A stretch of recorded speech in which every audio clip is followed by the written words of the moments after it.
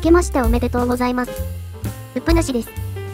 毎月メンバー限定動画として、うぷ主の投資資金の増減を報告していますが、今回はその特別編です。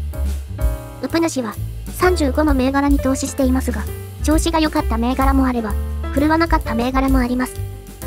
この動画では、所有している銘柄で上昇したもの、ベスト5を発表していきます。まずは、全体の市場環境の確認をいたしましょう。2022年の終値は26,094円。2023年の終値は33,464円。騰落率はプラスの28.24%でした。円安のおかげなのか、キッシーのおかげなのか、日経平均はバブル後最高値を更新。そのままのレベルで2023年を終えました。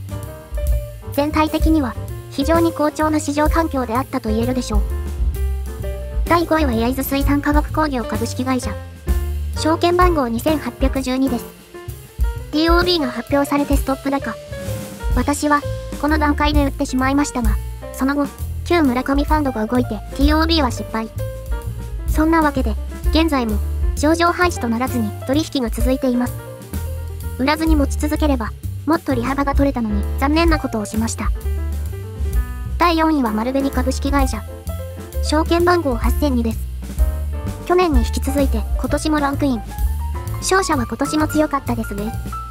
さすがに円安効果も薄れ、世界的インフレも落ち着きつつあるので、今後の値動きは落ち着いてくるのではないでしょうか。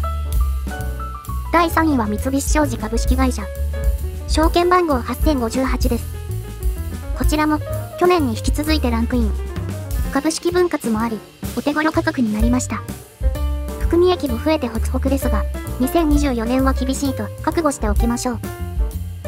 第2位は株式会社グローセル。証券番号9995です。こちらも TOB でストップ高。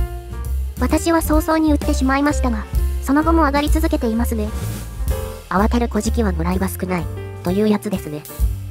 それはさておき、含み益を確定したので、よしとしましょう。栄えある第1位は、株式会社アウトソーシング。証券番号2427です。昨年のワースト1位の銘柄が、2023年のベスト1位に躍り出ました。こちらも MBO が12月に発表され、TOB 価格の1755円に鞘寄せしているようです。焼津水産のように TOB は失敗することがあるので、慎重に見極めていきたいと思います。今年も最初から目が離せない展開となってますね。といったところで、この動画を終えたいと思います。皆様の神株も、ぜひコメント欄で教えてください。2024年も良い年でありますように。